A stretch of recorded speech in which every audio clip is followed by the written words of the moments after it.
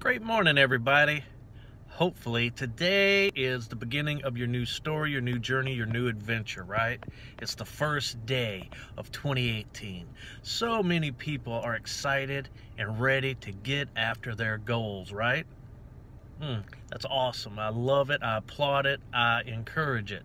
But tell you what, what I want to see is the people that are going for their true goals, the ones that stick it out and midway through the year they're self-reflecting and say hey i've got this going on this is what i need to reach what i want to be and keep pushing it's hard yeah it's hard and the reason i know it's hard is because i'm one of the biggest guiltiest people out there for doing it I start all sorts of stuff, but guess what? I'm not finishing. I'm not completing. I'm not seeing it all through.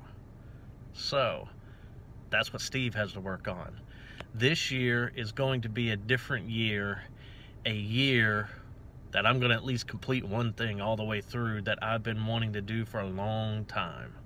So, get out there, have fun with it, and make the best of everything you do in life. That's right. It is the greatest show on earth. Your life. It's yours and yours alone. Nobody else gets to tell you what to write on the pages of your book. It's all you. It's your responsibility. Hold yourself accountable. Let's hold each other accountable and get out and get after the things that we want to do. Love and peace, baby.